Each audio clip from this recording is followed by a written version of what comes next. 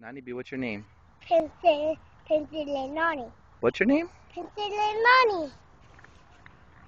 No, your name your name is Leilani. No, I Pencil Nani. You're who? Princess Leilani.